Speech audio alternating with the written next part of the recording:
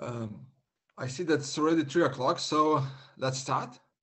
Um, hi everyone, my name is Julius and I'm uh, the founder and CEO of Cloudvisor that is uh, hosting today's uh, workshop.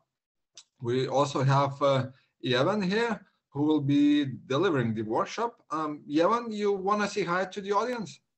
Hi everyone. Okay. Um, I'm very happy to have uh, all of you joining this event and uh, I hope you'll find it interesting and, and useful.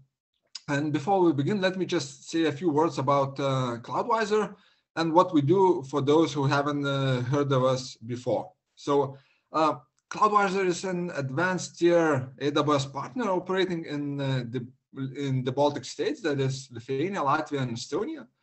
Uh, we work closely with AWS uh, to support the current AWS users in the use in, in, in the region, and of course, attract some new ones as well. Um, our main business line is AWS resale uh, that is being used by a number of uh, companies in the Baltics. So if your company is using AWS, I definitely suggest you check out the benefit packages that uh, we offer uh, as a bonus to your AWS spend. Uh, next to that, we try to do a lot of things to build the local AWS community, and this workshop is a good illustration of that.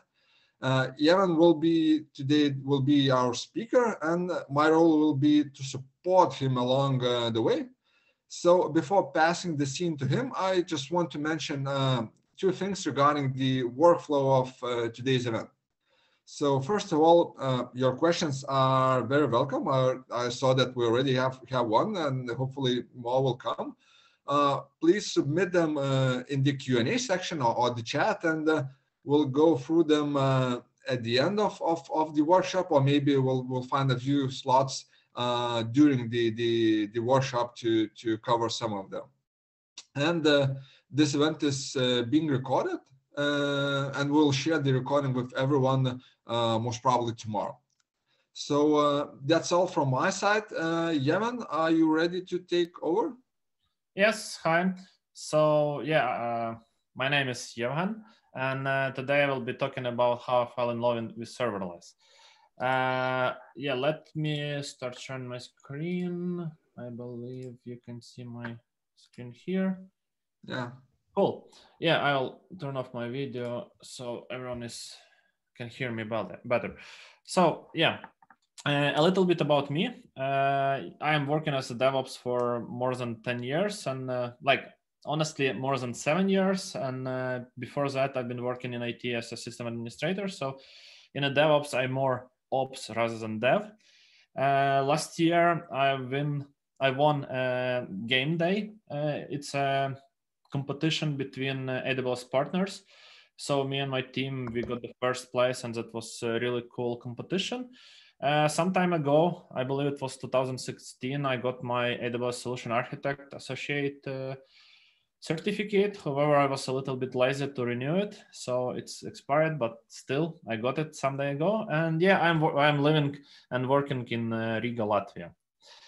So about serverless and uh, why I like it, I will I will start with my uh, story of my life.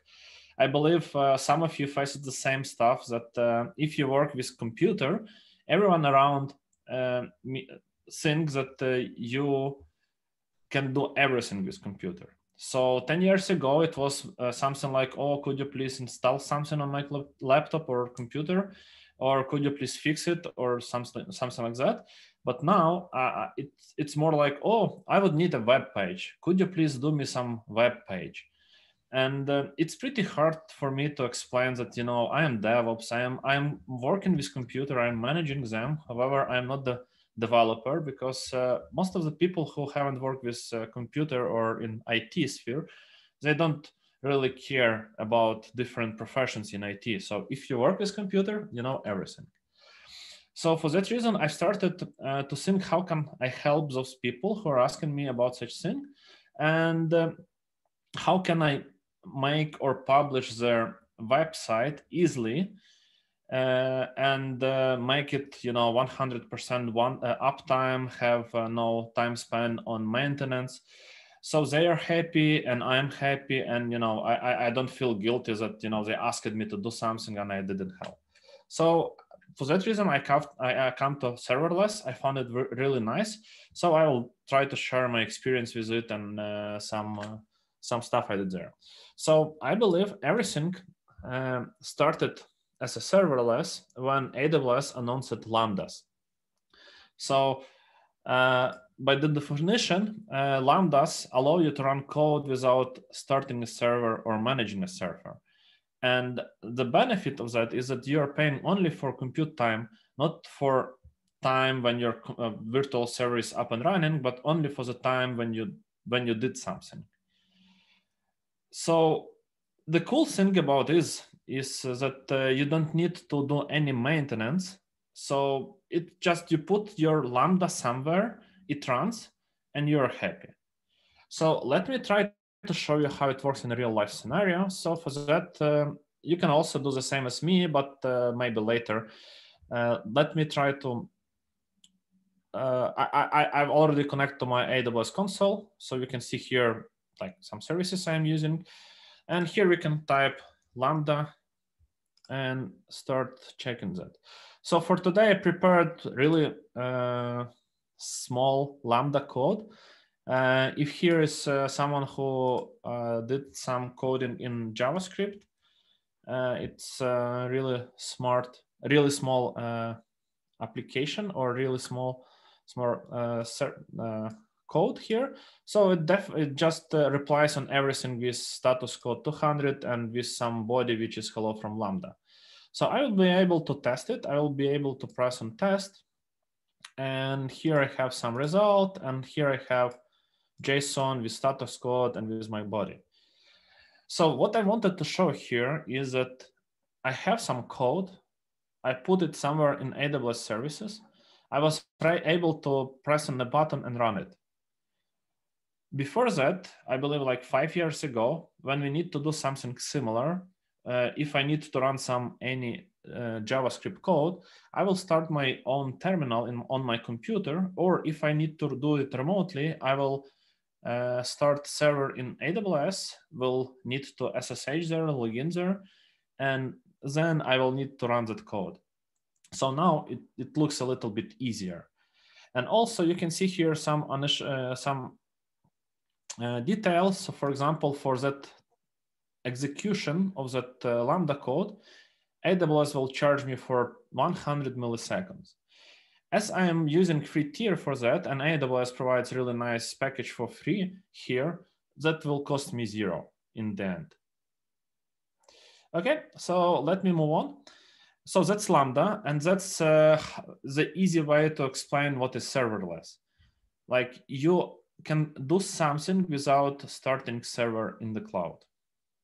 Okay, so let's move on. And uh, here, let's talk a little bit about uh, what is web applications. Uh, I would simplify all of them in uh, this screen or this picture. I believe that uh, some people who are uh, working as developers or working in various IT companies, you will say, oh, that's really simplified picture. We have much, much more things like that.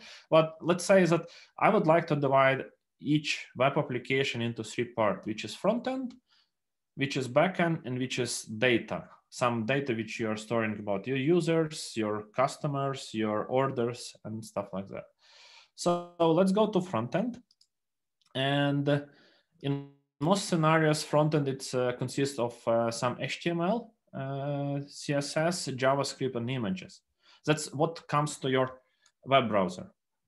Uh, sorry, oops, not incorrect one. Let me make it full screen once more.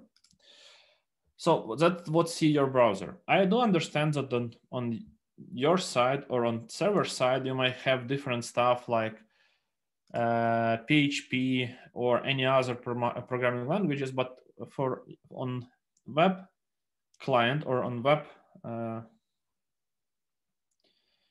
web browser level, you will see HTML, CSS, JavaScript, and images.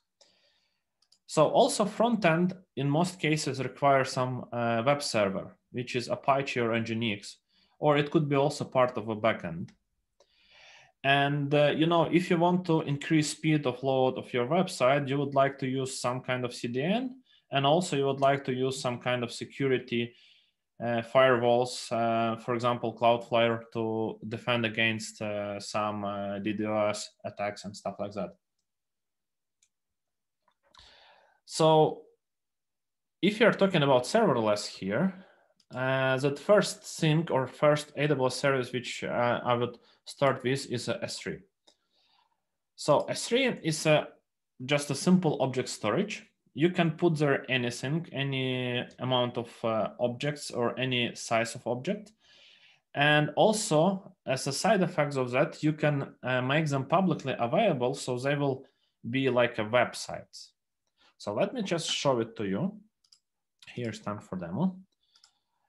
Uh, so yeah. Um, yep. Evan, uh, Yes. I see the chat uh, request. Could you like make um, the demo window full screen or, or, or bigger? Just it's it's a bit difficult to see. Uh, maybe just just zoom in. I don't know.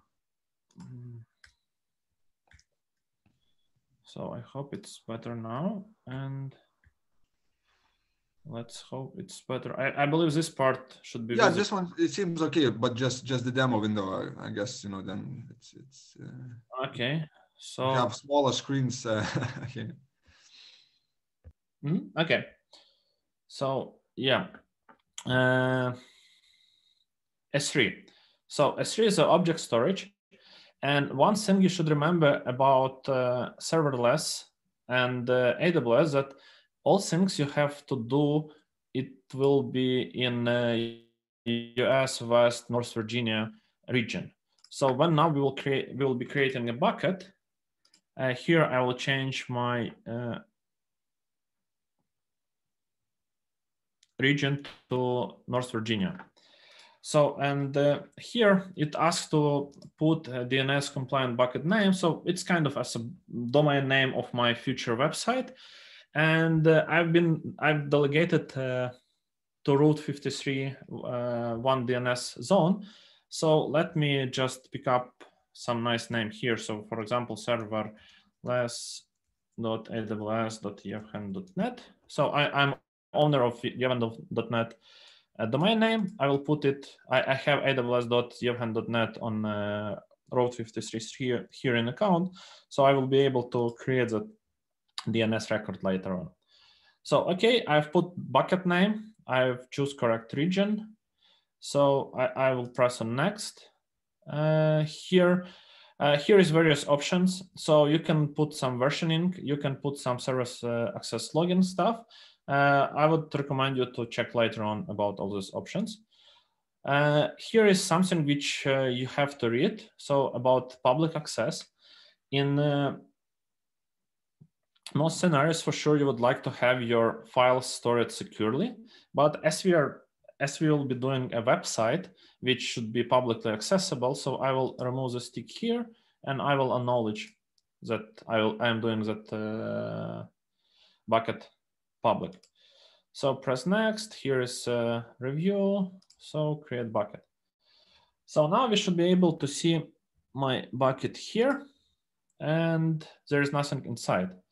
So first thing I would like to do, I would like to upload here something, but before that, I will go to properties and here is stat, uh, static website hosting. Uh, so I can put, use this bucket to host a website.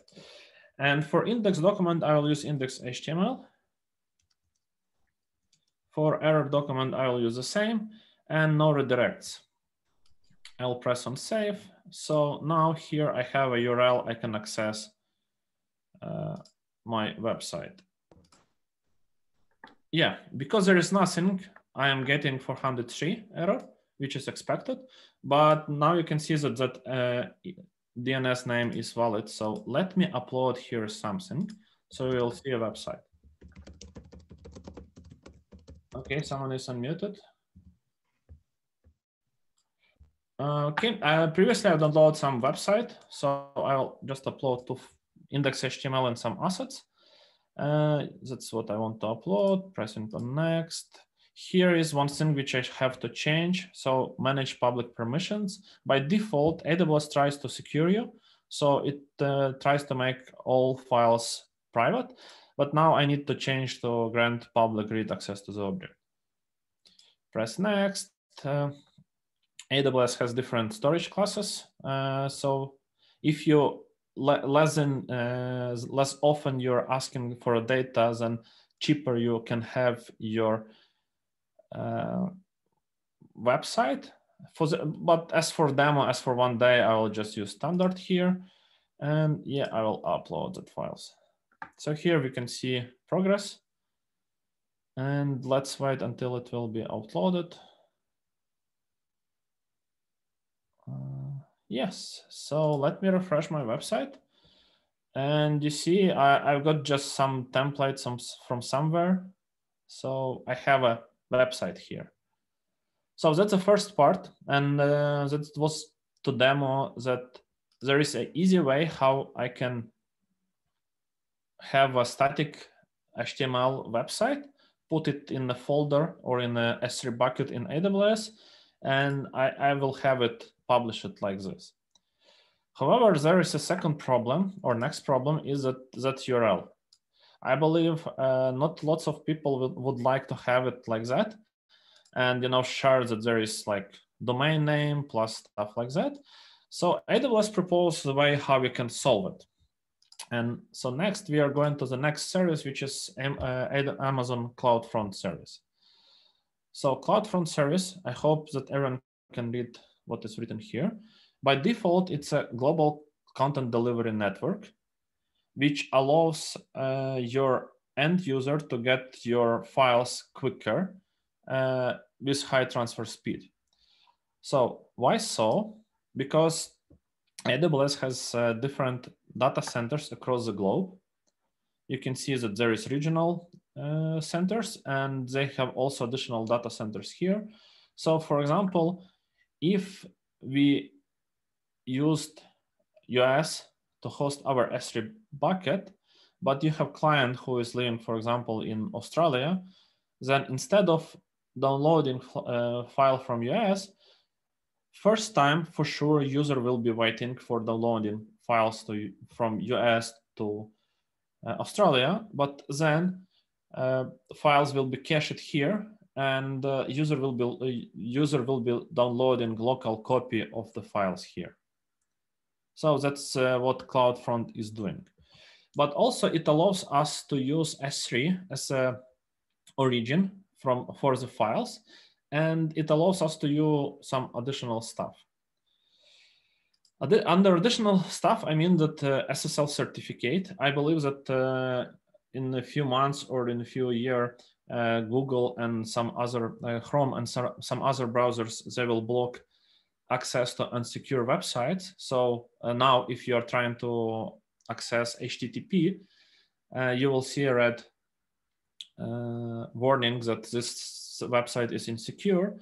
And for sure, you would like to have a SSL certificate for your website to, to have a nice green certificate or nice green uh, log here like and have connection is secure. And you can buy certificate on your own. And there is various prices. Like today, I bought certificate with uh, uh, four common names for a few hundred euros. I believe it's kind of big amount of money for just simple certificate. And AWS provides those certificates for free. There is only one uh, drawback. You can't take it outside of AWS. So you can use it only inside AWS and only with AWS services. For example, you can't uh, download it and use with your Nginx uh, web server, but you can use it with AWS load balancer, for, for example. So let me do, uh, let me show what is certificate manager, how it works, and uh, how, how connect S3 bucket with CloudFront and uh, Certificate Manager. There is one only thing which I have to remind and remember that uh, in order to use CloudFront with SSL certificate with Cloud, from Certificate Manager, everything should be done in North Virginia region. So let me go back here. Uh, but let me uh, back and copy my website name. So let me go to certificate manager here. Here is a get started button. Uh, I will be requesting a public certificate. You can also have a private authority, but I, I, I believe it's quite expensive there. Uh, so it will ask for domain name. I will use the name which I created. So you can you can attach to that uh, certificate some more names, but for my case, I just need that one. I, I can think about www www dot that one, but okay, let, let's do without it. So I'm pressing on next. So here is uh, uh, two options how to validate that you are owner of the domain. So uh, bottom one, email val validation means that uh, AWS will try to find uh, who is registered as an owner on, of the domain and send email to admin at domain.com or something like that. Or there is another way, it's a DNS validation. So you have to create a DNS record in your domain to prove that you're owner, that you have access to DNS server. So for my case, it will be much easier to do that with DNS validation. I'm pressing here on next. I can name or put some tags on that certificate. So I'll just name it accordingly. So here is review window and uh, confirm and request. So now AWS will try to validate my domain name and uh, that I'm owner of that domain name. And as I have a Route 53 record in the same AWS account, uh, it allows me to create record in Route 53 from here. So I pressed it created and let me copy that part.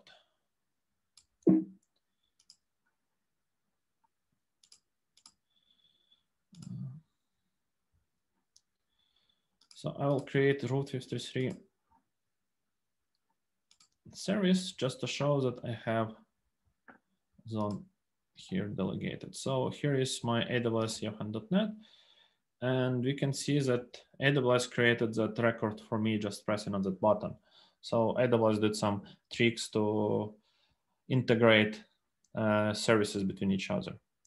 So now let's wait here and let's see if certificate is issued. So AWS checked everything and uh, got the uh, and change its status of the certificate to issued. So now I can use it.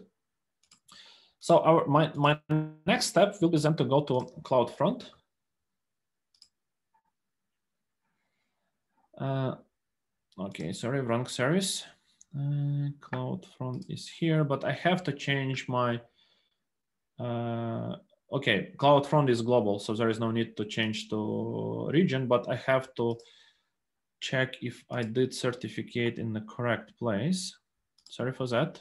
Yeah, I, I used Frankfurt, so I won't be able to see that certificate. Let me just show it to you. So if I create validate uh, distribution CloudFront, then I will go get started here. And uh, in the bottom, it will propose me to use default CloudFront certificate or custom SSL certificate. And here in the list, you see I don't see my certificate but because it was created in a different region. So let me go quickly and create certificate in the correct region. I will delete that one. That's something which I'm always, all the time doing mistakes. So here I have more certificates because I have some stuff. And uh, yeah, I will be using the same domain name, uh, DNS validation, uh, tag will be name, values that one, and uh, confirm and request. Yeah, let's go continue, and it should be quickly.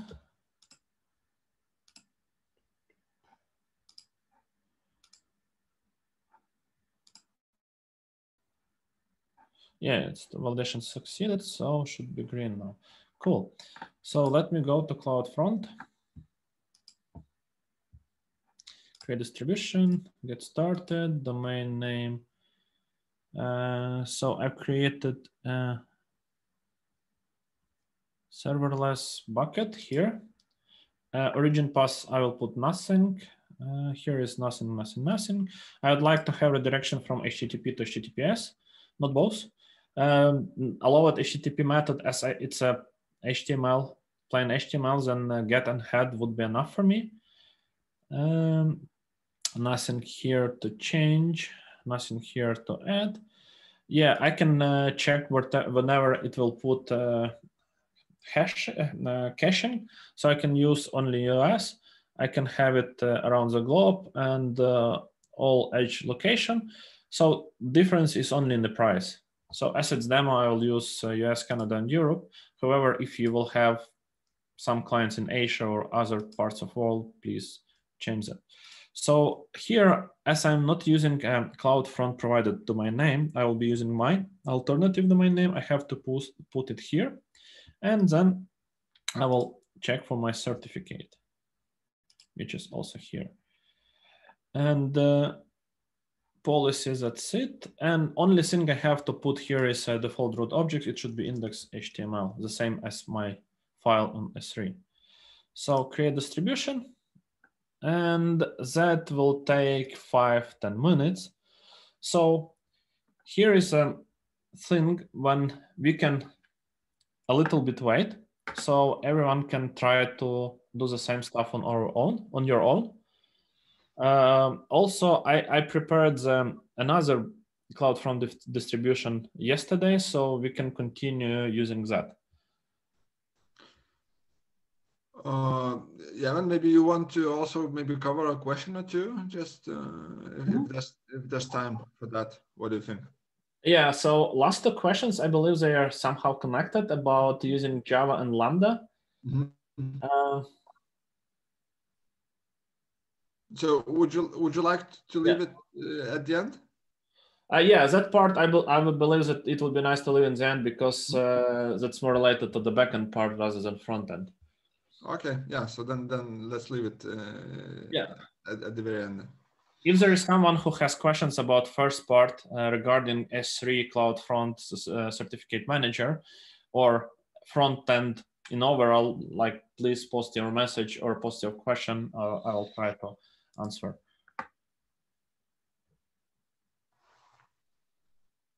Okay, so I will continue with another bucket as there is no questions. So uh, that's a bucket I've created, uh, CloudFront distribution I created yesterday. And yeah, it works. So the same website as uh, it was in previous, you can see that here it uh, gives me green certificate, AWS signed certificate, which is uh, for one year.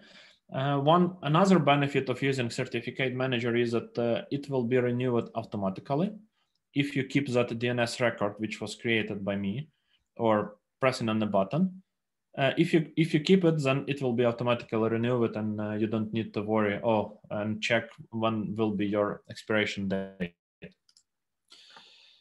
Okay, and uh, let let me back to my slides. So I've demo how to create that, and uh, here is a time for some conclusions. So we have used S3 AWS provided services, which is S3, CloudFront, and Certificate Manager. Uh, I believe that uh, I'm the price of usage of using those three services are quite small.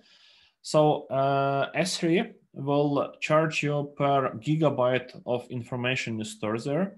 For example, I have some home backup and uh, it's like 40 gigs of information I, am storing on S3 and uh, AWS charges me around uh, eight bucks per month for that.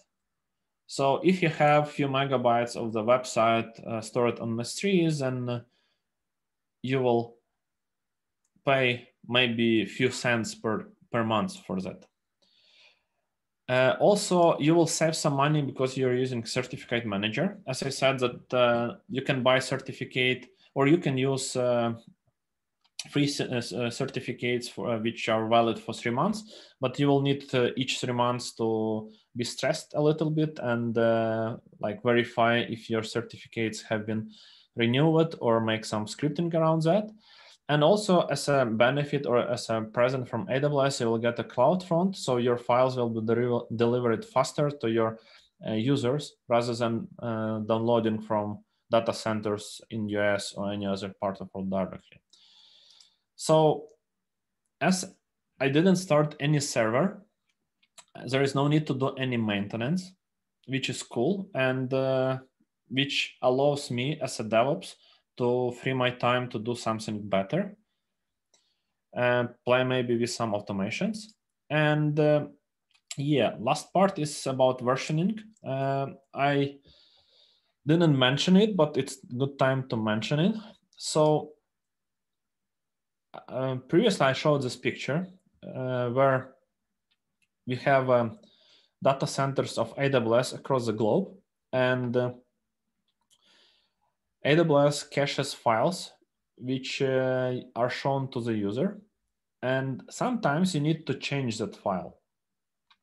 So you, you kind of upload new version of that file, for example, in US, but because AWS caches everything uh, across the globe, so, uh, your users from other parts of world will will see different images. Sorry. so there is a two, there is two mechanism how how to do that. Uh, let me find my Safari or Chrome. So for that reason, here in CloudFront, AWS propose something which is called invalidations. So if you want to clean all stored cache, uh, st stored files in caches, you can go in here in invalidations, might create invalidation, put exact file name, or you can invalidate all files and press on invalidate. And AWS will contact all uh, data centers and clean caches there for your distribution, for your files. However, keep in mind that uh, this operation is not for free. So first, the 1,000 operations, if I invalidations, if I'm not mistaken, if for free, but all additional will be for some money. Sorry. Okay. So uh, I also see that uh, our website is up and running. So just let me open it and show that it works. Yeah, I have to remove that. Um, yeah, I forgot to add Route 53 record for it. So let me do that quickly. Mm -hmm.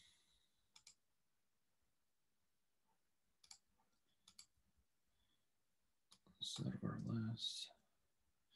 So here we have to use alias because uh, AWS uh, I will I will I will explain why it's alias uh, after I will create it. Uh, so here we have to find our distribution and press on create. Uh, so let me show from technical perspective how it looks.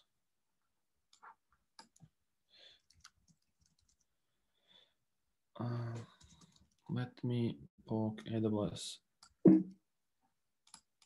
services for that.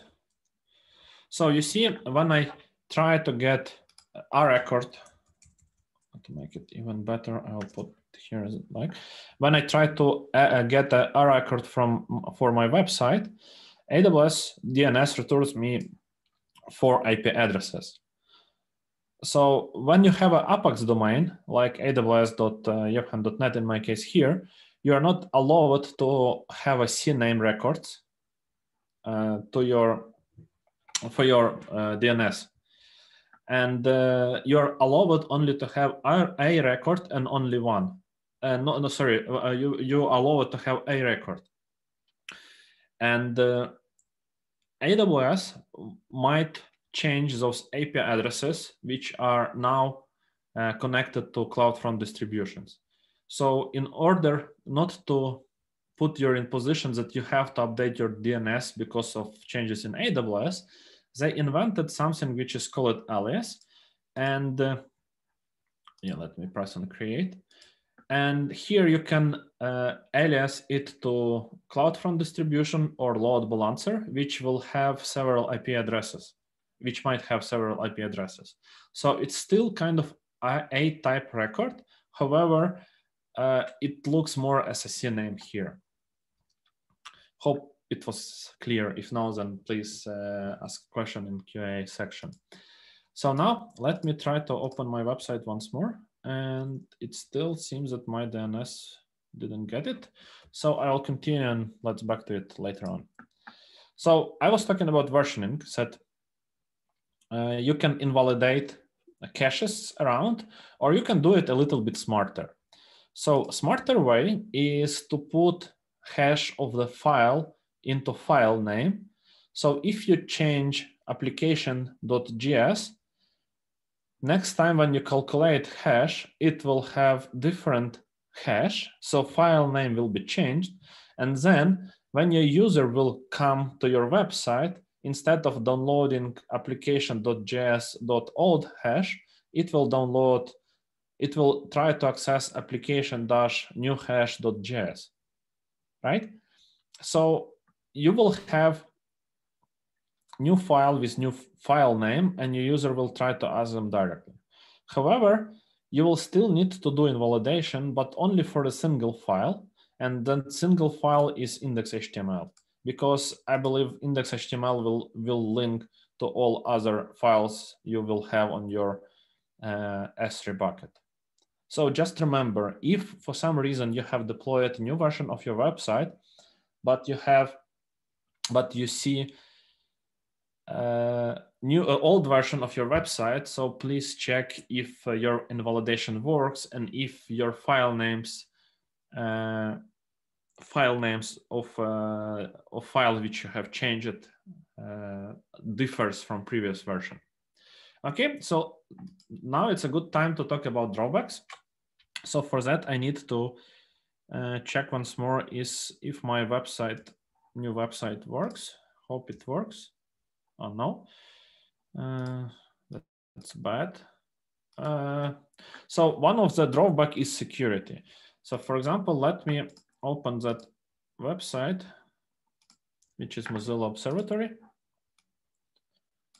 And here it asks me to type a uh, URL for my website. Uh, let me try once more our new website here and check if Mozilla can access. I believe it can. So let's scan me. So scanning is progress. It will take a few seconds. It, it quite quick.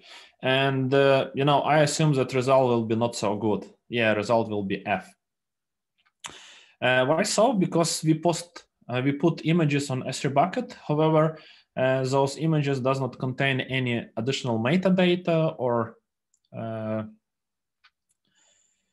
cookies. And for that reason, all requests or which we got, we got we, uh, we, we uh, from S3 and CloudFront, uh, we got without those cookies. And according to the Mozilla Observatory, it's not a good practice. So I've got F.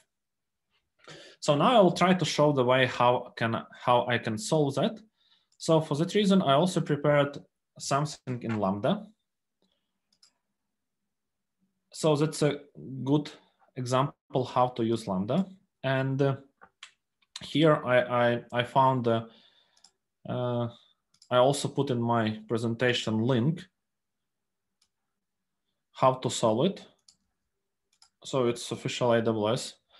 And uh, what we need to change here, so when we respond from server to cache, we have to put some headers. So end user will get that information like images or static files from cache with our additional headers. And uh, also the, yeah, the same F stuff here.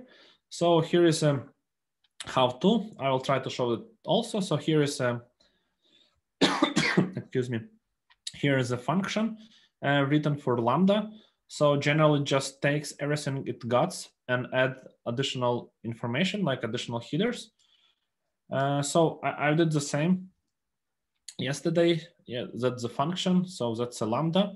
Uh, but let me try to create it from scratch so you can see it and uh, understand the process. So in order to create new lambda, I'll need to press on create lambda. I'll do also from scratch. I will do, I, I will give it name at headers uh, workshop. So runtime, it allows a lot of different languages to be used. So starting with .NET, Go, Java, and uh, different Python versions. Also Java 8 is supported. I saw some questions related to it. Uh, so about permissions, as uh, we will need to use a cloud front, uh, I will need to put here I, I, have already created a role, but let me create one from template. So cloud formation, uh, cloud front uh, work shop and policy. We can search here for cloud front. Basic Lambda Edge permission. So as you see, AWS created lots of templates for us, so no need to create everything from scratch. And now after I press create function, I can go and create function itself.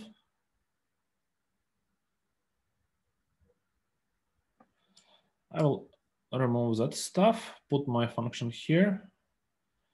And uh, that's generally it. I'll press on deploy. And here in the I have two ways how to attach that function to CloudFront. So I can go here, press on add trigger. Here I have to choose CloudFront, deploy to Lambda Edge. So it will create a version of my function and it will uh, spread that version across all uh, edge locations. Uh, it will be uh, origin response and uh, here I have to choose correct distribution. So let me check name of my distribution.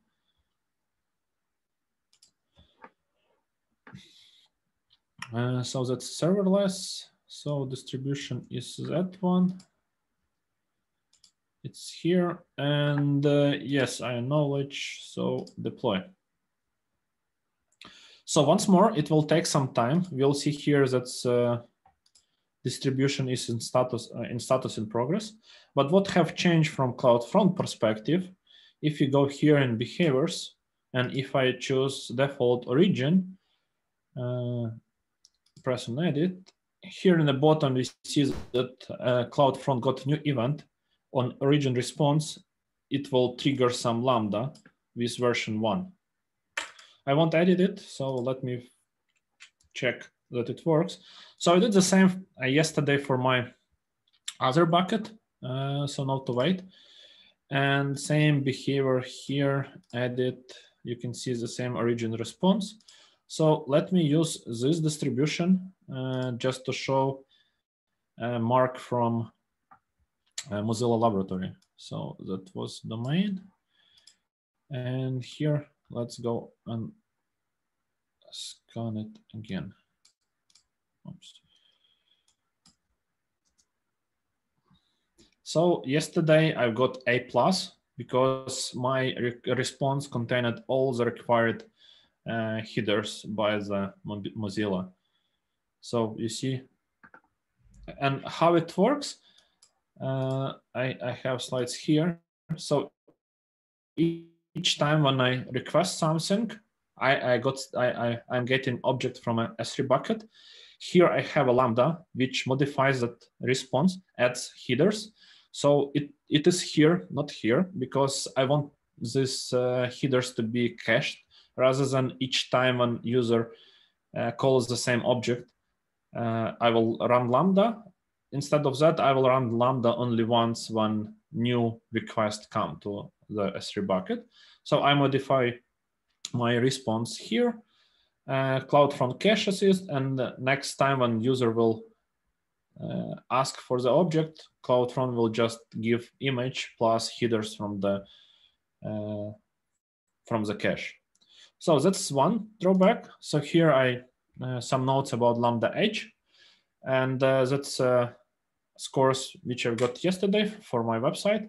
You see, it was improved. So another drawback here is uh, SEO and uh, server client-side rendering and server-side rendering.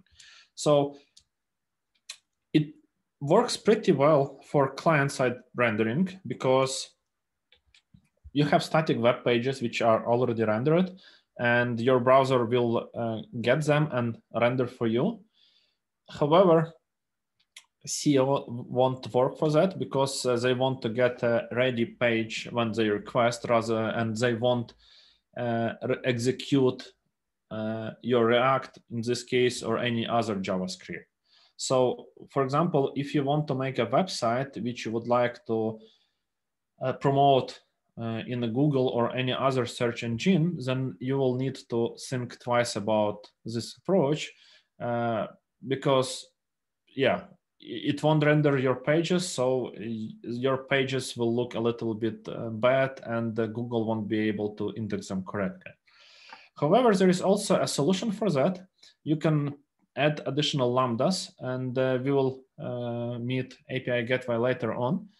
Uh, so instead, so you can do that server side rendering based on Lambda and also cache it.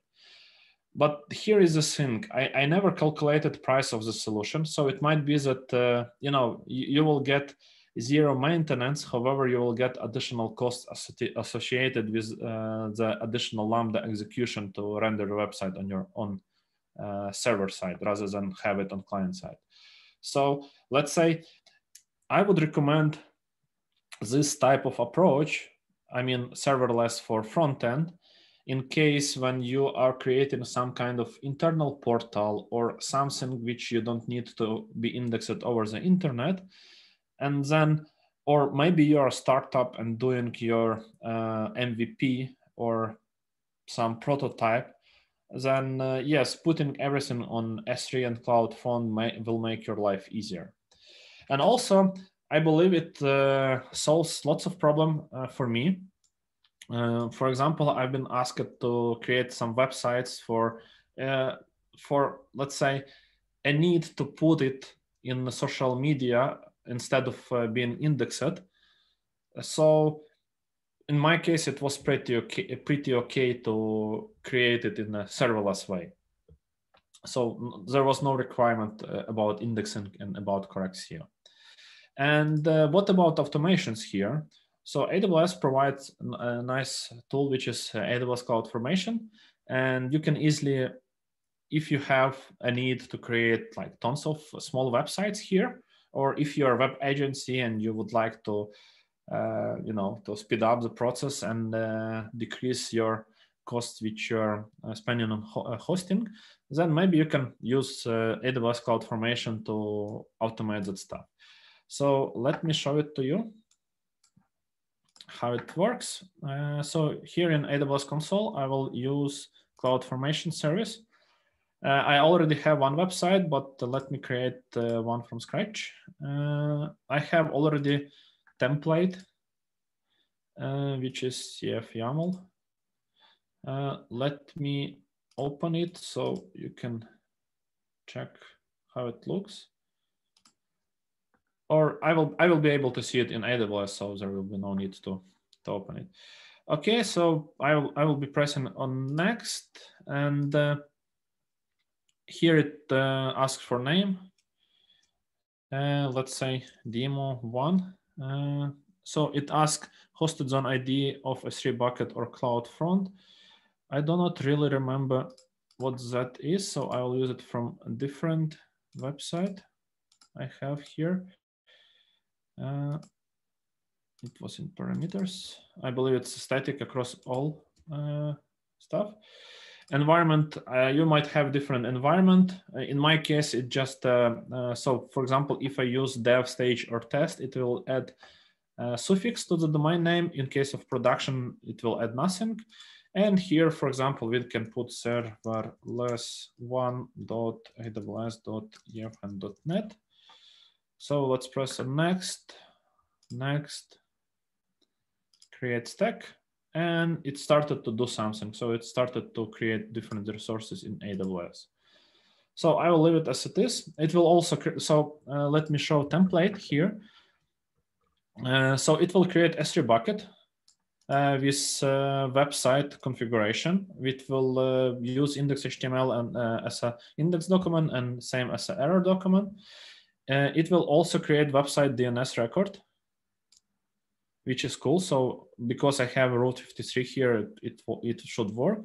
It also will create CloudFront distribution and it will also create SSL certificate. The only thing is that um, it semi-automated because uh, that S, uh, SSL certificate will require me to go and approve it, press on the button. Uh, frankly, I, I, was looking a little bit and I found a way how to automate it fully, uh, but uh, it won't be able uh, using Cloud Formation. I have to use serverless stack uh, it allows to create some custom resources and it allows to create lambdas which will uh, trigger, uh, which will uh, create in Route 53 record for SSL certificate. But as for now, I'm okay to once to go here and uh, yeah, see my pending certificate request. So I'll create and I will create. So it will take some time because of CloudFront, but that's an automated and a quick way how to create a website. And if you have, you know, 10 or more per day, you can easily do it that this way. So that was it. Uh, next part of uh, my workshop will be about databases. And I already, like, first question was about uh, practical experience regarding uh, SQL databases. Uh, so that's a reminder. So we, we were talking about front end and now we will be talking about data. So we have backend left. So for serverless, AWS pro proposes to use DynamoDB, uh, which is NoSQL database, no relational database. Uh, but let me show it a little bit and uh, maybe for some cases it will be good for you. I, I do understand that if you already choose SQL database, then you have some reasons for that. Uh, yeah, it's still creating here. So let me go to DynamoDB and just show how easy is that. So you don't need to install server. You don't need to think about maintenance. Uh, you don't need to think about other stuff. So just open AWS console, go to DynamoDB, create table, uh, give it some name, uh, server less. Uh, primary key we can put, for example, ID. Uh, I don't like here is different uh, types, but let's leave it string. So I, I will press on create and just in a few seconds, I believe AWS will provision that database for me. So it's it's up and running. I can see items. There is nothing. And uh, one thing that I would like to show here is uh, capacity. So uh, it allows to have auto scaling, meaning that uh, when you have more and more read and write requests, you will, you will pay more for it. However, when you have less, then it will scale down and you will pay less for it. But for example, for them, I just want to show uh, this minimal um, uh, possible amount here, which is one the price of uh, DynamoDB. So it's just 60 cents per month. So I, I, believe you have a question, what does this one mean? So uh, if I understand correctly documentation from AWS, it will be one read, uh, read per second for the database. So when you will have second one within the same time, you it will need to wait for the second, uh, next second. So I'll press on save here and uh, yeah, the database is updated, so you can easily work with it. So let me show you one more Lambda, which I already also prepared for this workshop. Mm, yeah. So Lambda is called uh, DynamoDB put item. Uh, I prefer Python. So that one, this one have been written in Python. Uh, so it, it's quite easy. Uh, you have boto3 model, which uh, gives you a possibility to access every, uh, I believe every uh, AWS service. So you just need to define how to connect to it. So resource DynamoDB, and there is some endpoint URL. Uh, you have to choose which is which database you would like to update. So in my case here, I, I created another uh, database, which is users, but uh, let's change to the serverless name. So it's better example. And what I'm doing on each time when I run this uh, Lambda function, I will update database just with uh, two values. One is ID, which will be taken a random value from this list, just enough for demo. And second one is uh, UID, which will be uh, randomly generated UID uh, format for. So yeah, I, I, did some changes in table name. So I'll press on deploy here. So it will save it. And now I can press on test. So it did something. And uh, yeah, you see that there is null because I didn't put here to, to put output any information. But one thing you have to remember that it took 160 milliseconds. I believe it's a quite big amount of time for such a short and small operation. You have to remember that every time when you start Lambda, there, there will be small delay because AWS have to uh, start Docker container, I believe it's Docker container and run that Lambda for you somewhere. So if you need a, a responsive uh, backend, like which is responding in uh, milliseconds, that might be that Lambda is not the best option for you, or you have to play with different options here because Lambda allows uh, a little bit of uh, con some configurations there. So let me back to my uh, database and let's see items, let's refresh. And we can see that some random six and some UID have been put here. So if you need to store some uh, small amount of data, not, not only small amount of data, but if you need to store non-relational database uh, data, then maybe DynamoDB would be good for you. Okay, uh, let's go back. So that's DynamoDB. We had some demo about it.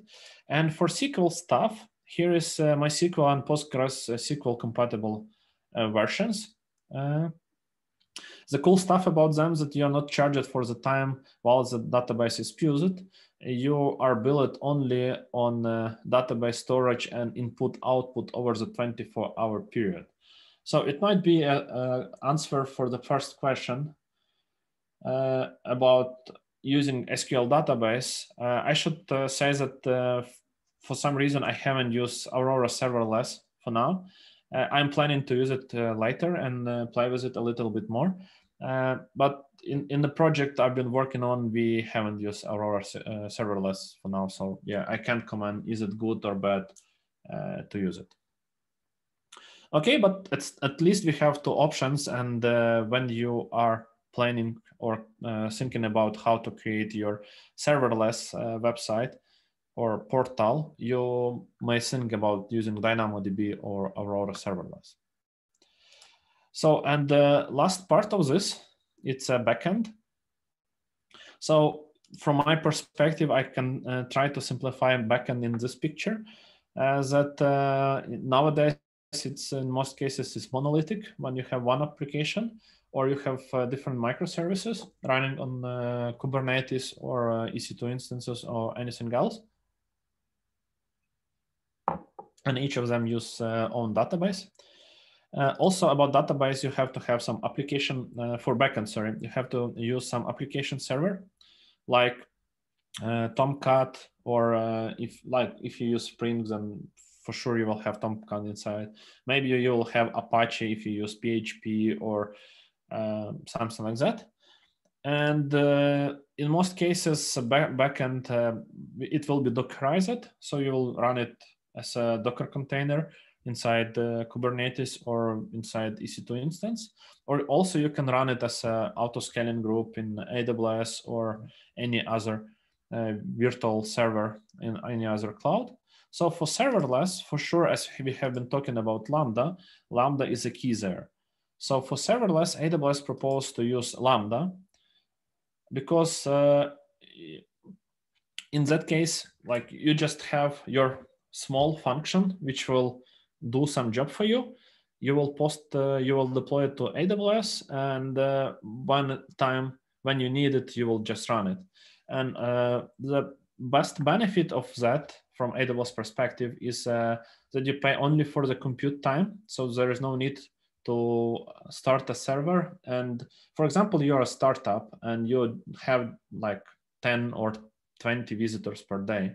So you will need to start a virtual server in AWS or any other cloud provider. And all day you will have that server up and running. And if you would like to have a, some redundancy, then you will have at least two servers. Then you will have two server, servers just to serve, for example, 20 requests. And, and it kind of wasting money because you will be paying for servers doing nothing. With Lambda, you will pay just for the time when Lambda will run.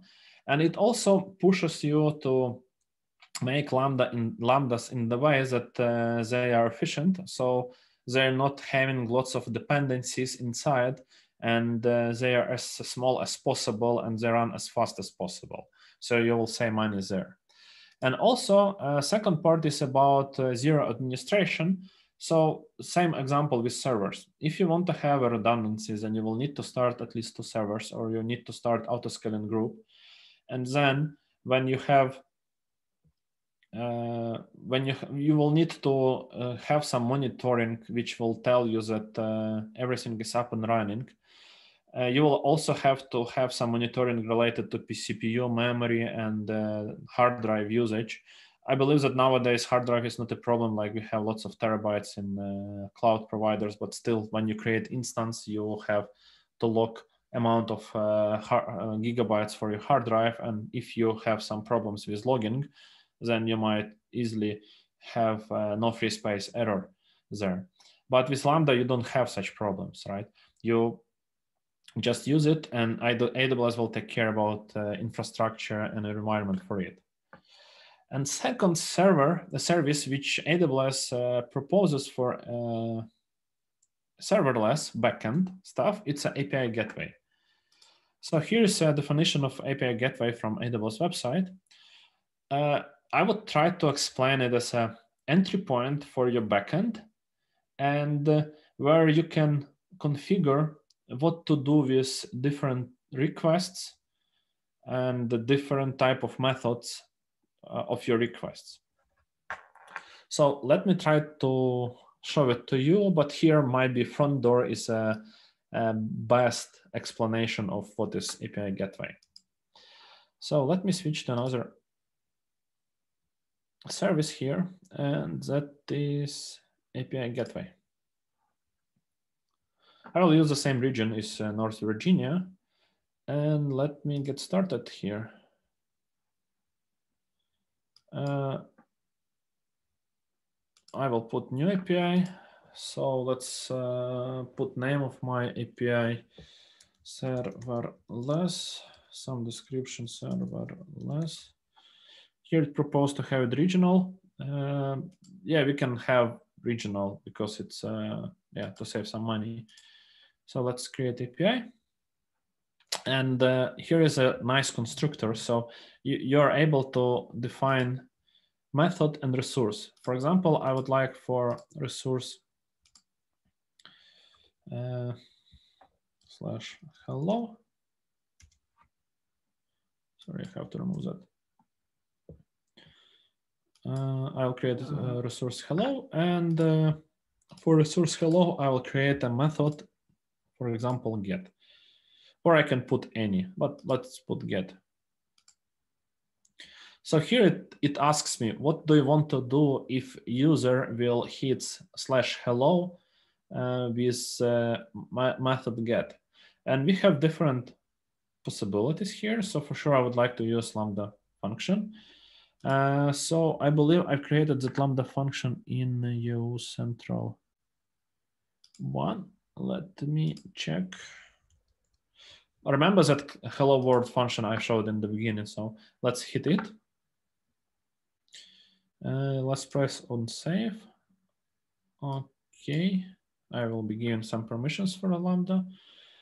And uh, here I have to deploy API. So after I did some changes, I'm okay to do deploy. And uh, yeah, let's create a new stage. Let's call it dev uh, development and press on deploy. So now we have some URL. So that is base URL. And let me hit it. So I have created their hello with method get.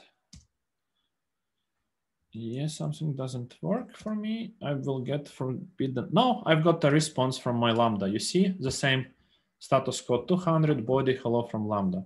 So just to prove that it works, uh, let me go to that Lambda. Let uh, me go to West one. No, it was in uh, Central. Yeah, that one.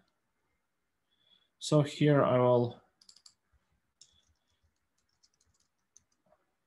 I will change hello to hello workshoppers. Uh, let me check if DynamoDB connects to correct one. So I will be able to, yeah, it's in EU Central. So I, I hope I saved my Lambda. Yes, I saved my Lambda. Let me try to hit it once more.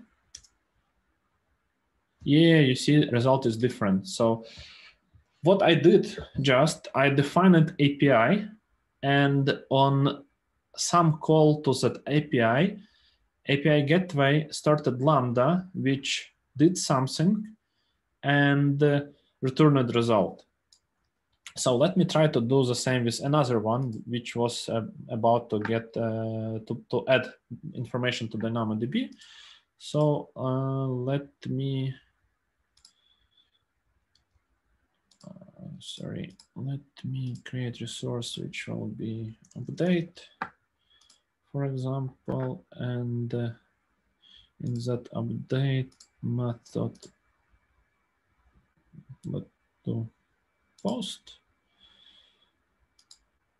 Uh, the same stuff here, lambda function. I believe I have that in uh, US.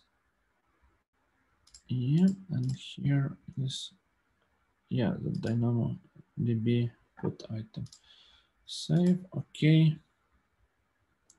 So once more, I need to deploy. I need to choose my deployment stage, deploy. So here I will use another URL, which is update.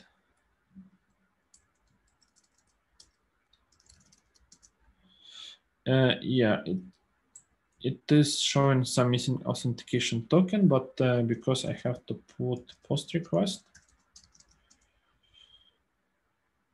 and result should be null. Yeah, result is null. And let me check my DynamoDB uh, instance here.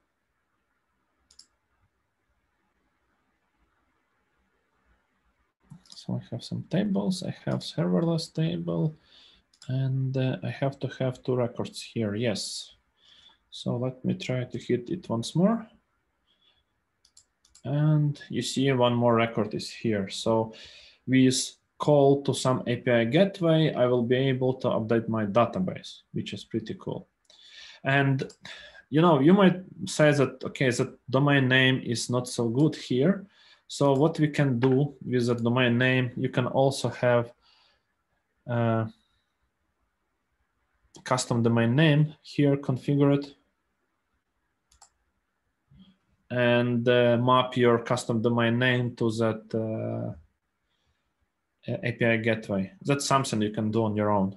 And uh, one thing which is cool and which AWS uh, did uh, created or not created, but uh, announced recently. That's a client certificate. That's something I would like to play with. So generally, it allows you to verify verify your request by. Uh, okay, sorry. So it allows to build an, an API which will be protected by SSL, and your client will be will need to provide a valid SSL certificate signed by your authority. So it's a kind of additional level of security. I believe that some uh, people who are working with uh, financial startups might might heard about client certificate and also about uh, two fact uh, sorry uh, multiple authentication. So that's it here. Let me go next. And it's time to tell about the different triggers, how we can trigger Lambda. So what I've did, I've triggered Lambda via API gateway. Uh, so in this way, you can also have some asynchronous events uh, like SNS. It's a simple notification service and uh, AWS S3.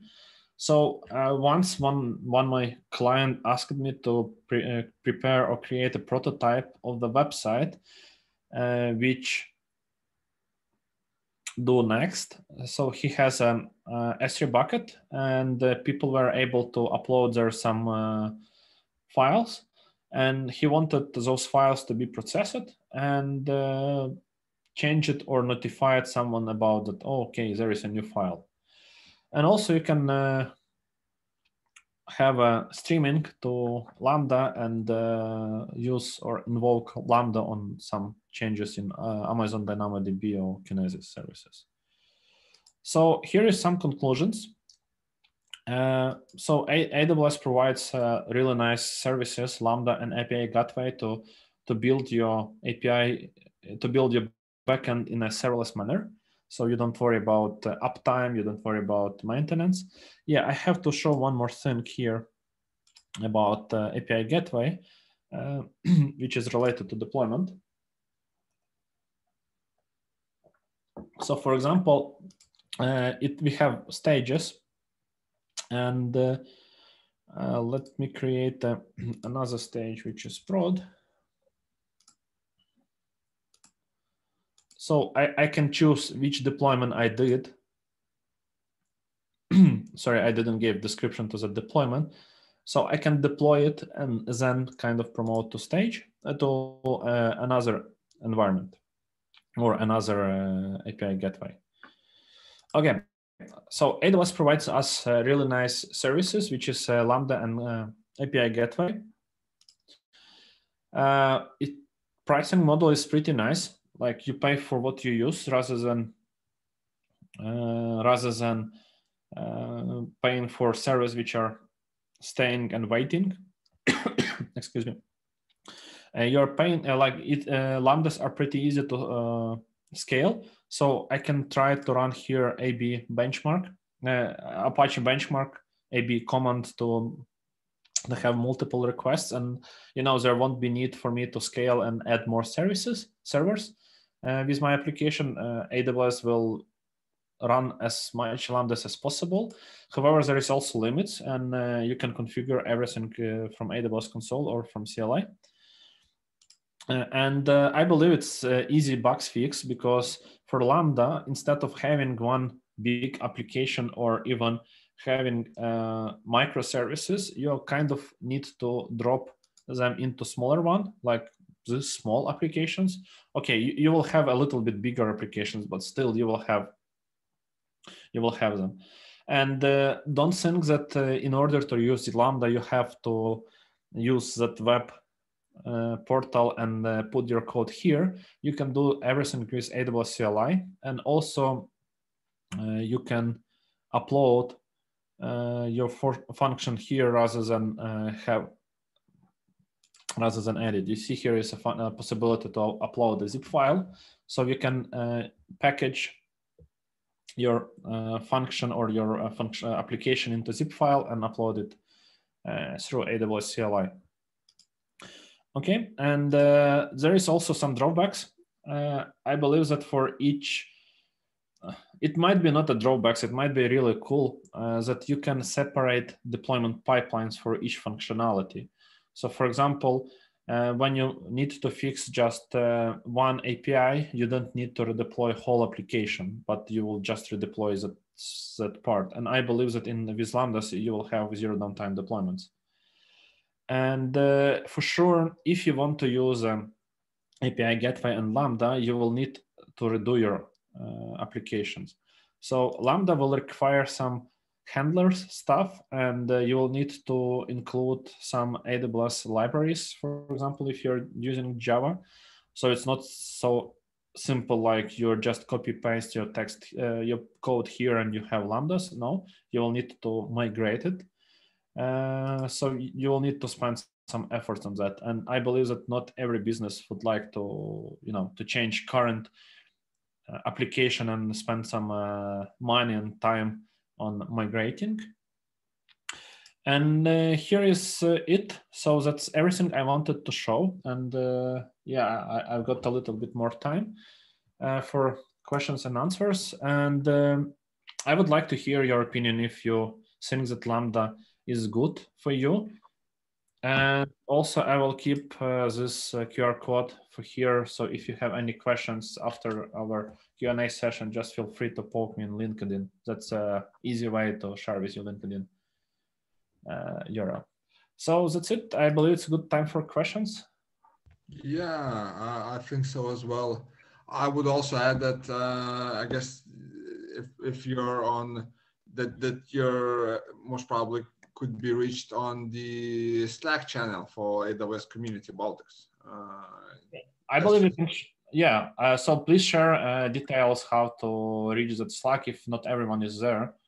Mm-hmm. I, I, will do that once again. I, I, did that at the beginning, and maybe we should start from. Uh, uh, elders uh, noticed in the chat that uh, it's an awesome demo and well done. so you already got some uh, some congratulations. Yeah, Sam. So yeah, let me then I will I will go through the Q and A questions, and I believe okay. there is already a discussion. So I, I would say that it would be really nice. You know, um, my, my, experience here is I'm a DevOps, and uh, I I would like my role or my uh, uh, my goal here was to show how everything looks from DevOps perspective, and for sure I would be able to answer some development related questions. I, I never done some code okay i did some scripting. I, I don't call it a code. It's a, it's a, it's a scripting like a python or javascript code i show it. Uh, but i believe that it would be nice if uh, all guys here with questions you have you can join uh, our slack channel and there we, will, we can discuss that and maybe you know just uh, give each other some nice links. So uh, yeah like may, maybe it will help. And uh, also, I believe that uh, AWS have most of the answers you have here. Uh, unfortunately, it's just matter of time to find correct answer and correct link. But uh, you know, during my preparation for this uh, workshop, I was uh, looking into AWS resources, and they are quite good everywhere. Like they, they contain lots of nice, useful information. Okay, so I'll start this question. I, would love to hear about practical experience regarding how well serverless go with SQL databases. This is the only reason for aren't using serverless but Kubernetes. And uh, uh, there is nice uh, answers from Christian Eric Lev. Sorry if I pronunciate your name incorrectly. Uh, it's a latency. And as it says that for a new connection, uh, you will have, uh, for a new Lambda invocation, you will have uh, new connections uh, connection to be made. And that's true you know uh, i've tried already uh, also to show it here with my example. So each time it's a simple code which will uh, trigger some api which will start lambda and lambda will start connection to database updated with two simple values. And uh, let me put time so we can see how much time it took. So it's just, it's about, okay, it's, it, it, it was cached, I believe, by AWS. But yes, uh, keep in mind that using Lambda uh, gives you additional latency for everything you do there. Just uh, you know, if you have if you need to have responsive uh, backend, it might be not a good case, but I would still uh, would be happy if you can spend some time and discover it. Okay. Uh, so next one, have you tried migrating some Java code to Lambda using Quark on Spring frameworks instead of using Node.js runtime? Can you please comment on warm and cold startup time and hints how to improve performance? Uh, yes, in my full-time job, we are using some uh, Lambda function written with Spring framework. And uh, let's say we spend some time on removing all unnecessary dependencies. So we, we have that Lambda Java code shortened as possible uh, because, you know, more you have, more time it will need to start it. And same here, it will uh, there will be some cold start. So yes, uh, you will you will feel that latency. I believe that for that for that reason, you know, I, I really tend to use Python or JavaScript because uh, you don't need to compile them. It, it might be working a little bit quicker, and uh, also I believe there was some uh, some configuration. Maybe it's related to provisioning, uh, but yeah, I haven't used any uh, hints to. I, I don't have any hints how to improve performance. Uh, so yeah, let let me find it and reach me out in Slack, and I will try to answer that question. Okay. Uh, I see one more question that's also been answered and also in in in, in the chat uh, uh, by by Augustus uh, how to schedule Lambda like to run once every hour. I, I saw this idea about CloudWatch. Uh, do you agree with, with that suggestion as well? Yes. Um, so first of all, uh, maybe I haven't uh, shown that really nice, but let me check to North Virginia. Uh, you know, uh, okay, sorry, I will back here and explain why I'm switching to North Virginia. So here you can add trigger for your Lambda in the uh, left panel. And if you're using Frankfurt or any other region, uh, region uh, which is uh, not North, which is not North Virginia, then you will have shortened list. But still, you will have uh, CloudWatch, for example, here, but it's for logging. So uh, let me switch to North Virginia. Let me pick up any Lambda I have here. So for example, uh, DynamoDB pod. Um,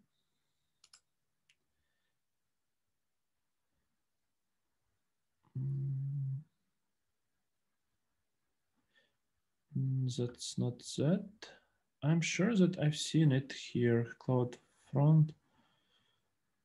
Uh, no, it's not that one. Nope.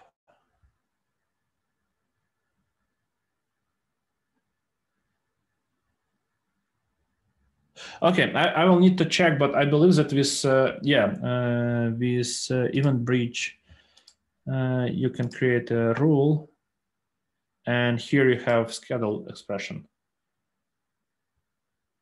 So yes, it's possible. We can try to put it, uh, for example, uh, right one day, and like you can play here with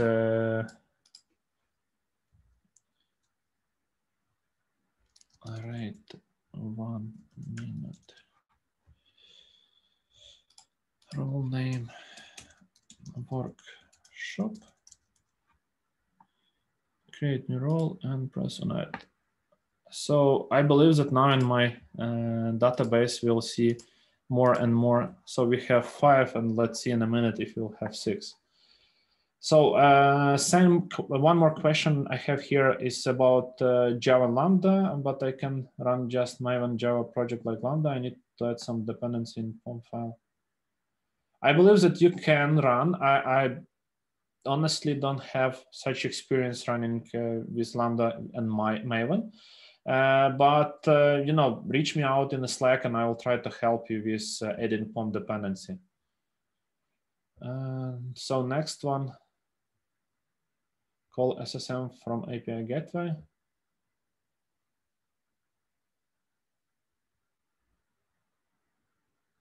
I believe that uh, I'm not sure if uh, API gateway can run uh, something different to what is here. So for example, let me create one more method, which is any. And uh, here is what you can trigger. So I believe that uh, if you want to trigger some shell script uh, from API gateway, which is on EC2 instance, then most probably you will need to have a Lambda as a, uh, in between. So you, you can call API gateway, which will call a Lambda, which will uh, run SSM, uh, which will run uh, bash script on EC2 instance. But maybe there is something different you can do and run it in different way.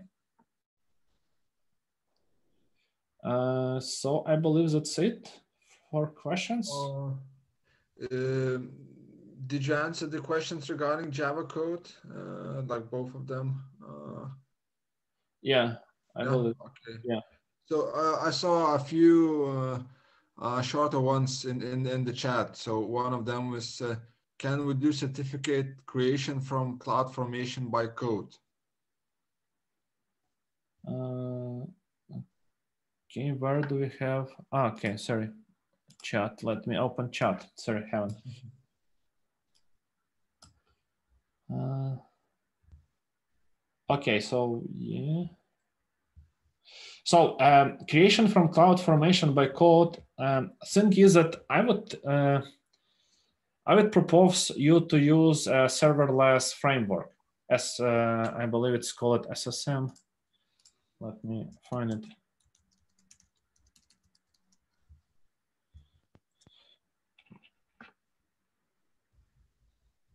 Yes, something like that. So it creates something like CloudFormation template, and it allows you additional flexibility over the code and over the stuff you're creating. So with, with serverless uh, framework, I was able to create uh, SS, uh, SSL certificate and automatically create Route 53 records for it. So trick was to create a Lambda which uh, checks for the DNS records required. And when it appeared, Lambda just added those uh, DNS records or DNS record to Route 53. So that's was the way how I fully automate creation of uh, certificate and uh, uh, cloud formation and uh, sorry uh, from uh, certificate cloud front and S3 bucket. there was one more question regarding the cache in the CloudFront? Like how much uh, does the cache live there and uh, can we can the time be configured? Uh, I believe so. I believe it's one day, but uh, let me check that.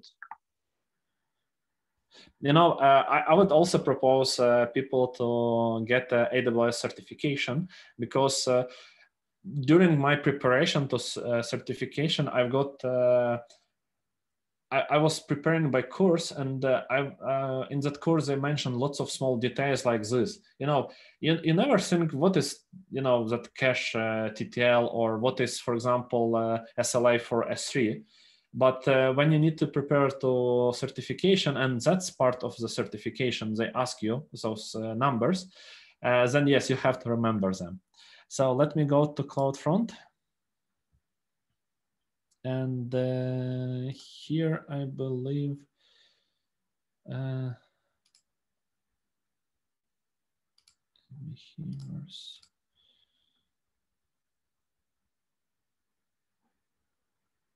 uh, it's not here. Let me try to create one more new one, and it might be in the options. Uh, cached methods, cache policy.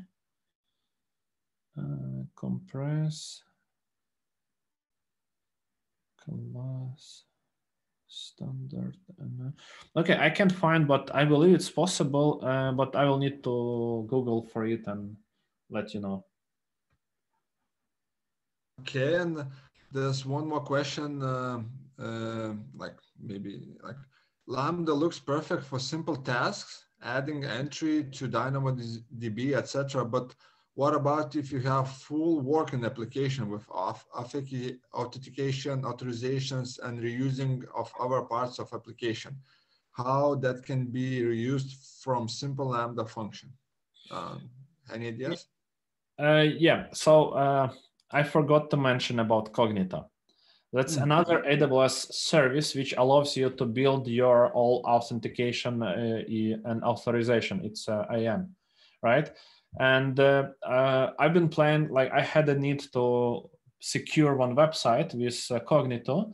And uh, for me, it was quite easy to Google and uh, find a AWS uh, Cognito service cloud formation template, which starts Cognito, create some user pools there, which starts S3 bucket and all requests and, and also add some Lambda functions.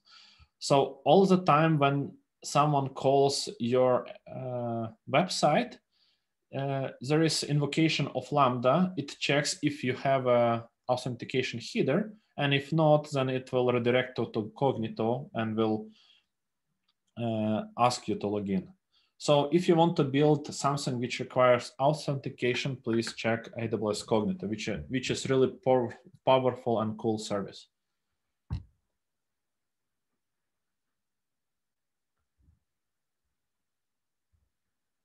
I guess you are muted. Oh, you are muted. Yes. yeah, yeah. Sorry for that. Yeah, so um, at least I don't see any more questions. Uh, so if we have uh, nothing else from from the audience, so um, I guess then we can close the the the, the workshop, and uh, uh, we I would like to do that with uh, a final poll uh, about regarding the your feedback on on the on the overall event. Just please answer those uh, two questions that uh, you'll see now. You know, it's it's very important for, for both uh, me and Ivan to to you know to to see how you how you liked it and was it useful. And yeah, of course, last but not least. Please join the AWS community Baltics channel on Slack, and I have inserted the invite link in, in, in the chat. And I'm sure you'll find a lot of useful information there, and then like-minded people like uh, like Yevhen himself. Um, Yevhen, is there anything else you would like to add? Uh, yeah, thank you for uh, everyone for attending this uh, workshop. I hope you find uh, something useful for yourself. Uh, please feel free to find us in Baltics channel, uh, AWS Community Baltics channel, and uh, we will be happy to help with any AWS question you have, uh, like if you can answer. Great. Uh, so I'm ending the poll. Uh, yeah, and you can see the results. I, I imagine that from what I see, everybody liked the demos most, which is something we we expected. Um, so um, I guess then I can all I can say is, is thank you everyone, and uh, I'm looking forward to uh, seeing you, all of you in in the next event uh, we'll be having with uh, Cloudvisor. So until uh, the next time, bye everyone. Bye bye. Thanks for attending.